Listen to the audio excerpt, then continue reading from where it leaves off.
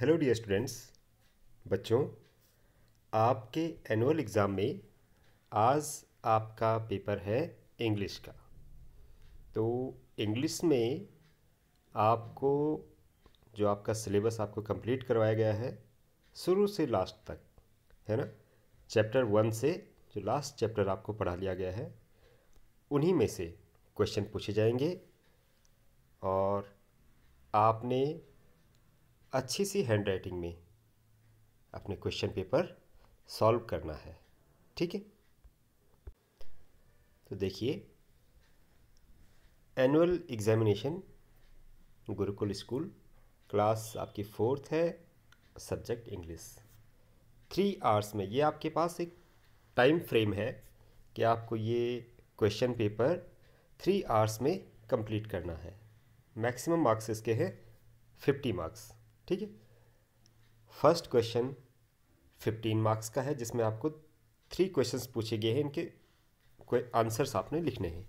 ठीक है? यानी कि फाइव मार्क्स का एक क्वेश्चन है।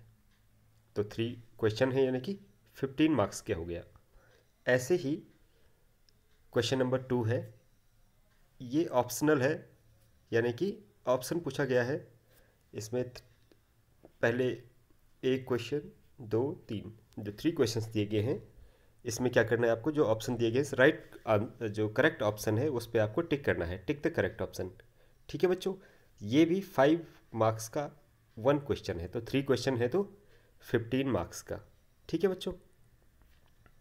ऐसे ही क्वेश्चन नंबर थ्री है fill in the blanks first second third three question हैं। ये भी सेम फाइव मार्क्स का ईच यानी कि एक क्वेश्चन फाइव मार्क्स का। तो थ्री क्वेश्चन हैं इसमें। Three fill in the blanks हैं तो फिफ्टीन मार्क्स का ये हो गया। ओके लास्ट है। Question four match the columns यहाँ एक कॉलम है, यहाँ एक कॉलम है। इनको एक दूसरे से मैच कराना है, ठीक है? तो फाइव टॉपिक्स हैं फाइव मार्क्स का ये है, ठीक? तो ये टोटल कुल मिलाकर फिफ्टी मार्क्स का ये आपका क्वेश्चन हो गया है। तो आप सबसे पहले क्वेश्चन पढ़ लीजिए।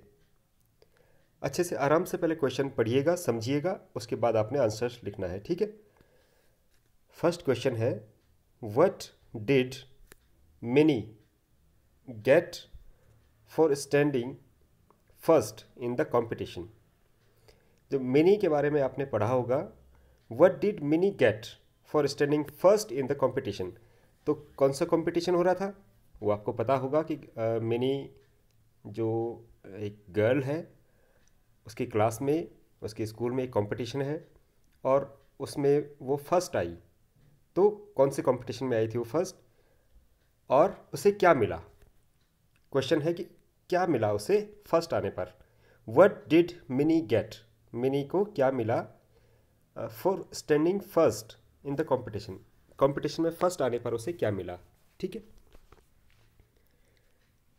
अच्छा आपने क्वेश्चन पूरा लिखना है, उसके बाद आंसर लिखेंगे और आंसर भी कंप्लीट लिखेंगे। शॉर्ट में नहीं लिखेंगे, ठीक है? पूरा लिखेंगे। जैसे पहले बार में बता रहा हूँ आपको कि मिनी गेट क्या, कैसे लिखेंगे? मिनी गेट समथिंग जो भी था, जो भी उसको मिला है, ठीक है? For standing first in the competition इस तरीके से आप पूरा आंसर लिखेंगे, ठीक है? सेकेंड क्वेश्चन आप लिखेंगे। How did the camel spend his time जो कैमल था कैमल के बारे में आपने पढ़ा होगा तो वो अपना टाइम कैसे स्पेंड करता था, ठीक है? तो दो लाइन में आपने इसका आंसर लिखना है। ओके बच्चों? थर्ड है what did the merchant give the king जो मर्चेंट था, उसने राजा को क्या दिया? ओके क्वेश्चन नंबर सेकंड है tick the correct option first है Hamelin is located in Hamelin कोई जगह है, वो कौन सी कंट्री में लोकेटेड है? जर्मनी आयरलैंड या हॉलैंड तो जो भी राइट right ऑप्शन होगा, उस पर आप टिक कर देंगे। कैसे? इस तरीके से। ठीक है? ऐसे ही सेकंड है।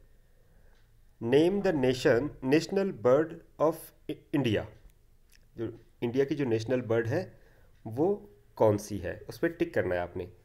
फ़र्स्ट पूछा गया है पिजन, फिर है पैरट, फिर पूछा है पीकॉक। थर्ड है the tramp was walking in the जो ट्रैम्प था वो कहाँ वॉक कर रहा था? फॉरेस्ट में गार्डन में, या फिर स्ट्रीट में? जो भी सही ऑप्शन होगा उसको टिक करना है ओके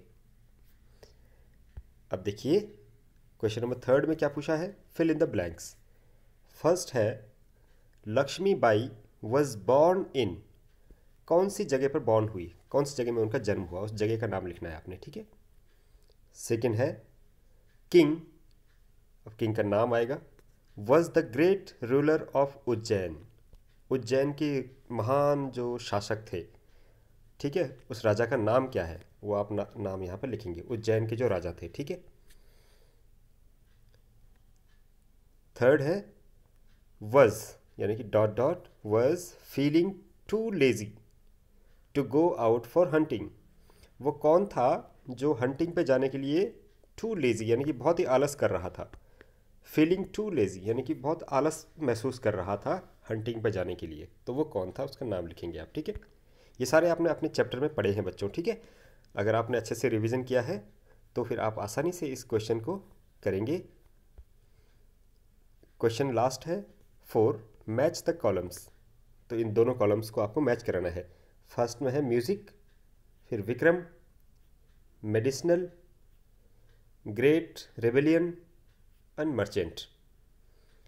तो अब उनसे रिलेटेड वर्ड आगे दिए गए हैं, लेकिन आगे पीछे, ऊपर नीचे है, ठीक है? आपको सही सीक्वेंस उनके सामने मैच कराना है उनको, ठीक है? कैसे करेंगे? अगर इस तरह से करेंगे, जो भी जो भी होगा। इस तरीके से, कुछ भी, ठीक है? लाइन लाइन खींच कर, ठीक है? ओके। म्यूज़िक के सामने हमने लिखा है, मेरठ, फिर है rich, Betal competition and herbs ठीक है? तो जो भी वर्ड यहाँ का जो भी वर्ड यहाँ वाले से मैच करता है, उस पर आपने लाइन खींचकर उसे मैच कराना है, ठीक है? ओके। अब आपको ध्यान रखनी है कुछ चीज़ें। पहली बात पहले तो ये समझ लीजिए कि इस क्वेश्चन पेपर को बहुत ही ईजी बनाया गया है। ठीक है? अगर आपने अच्छे से लर्न किया है तो आप इसे आसानी से कर सकते हैं। बहुत हार्ड इसको नहीं बनाया गया है। ठीक है? दूसरा क्या है कि आपने अपनी डिटेल सबसे पहले आंसर शीट पे अच्छे से लिखनी है। अपना नाम क्लास सब्जेक्ट का नाम, आज की डेट ठीक है? ये सारी डिटेल्स आपको अपनी आंसर शीट पे लिखनी है और उसके बाद अच्छे से हैंड राइटिंग में साफ़ साफ़ बहुत ही एकदम कंजेस्टेड बहुत ही एकदम मिला हुआ नहीं होना चाहिए। थोड़ा हल्का सा लूज़ लिखना, थोड़ा छटा छटा से लिखना, ठीक है?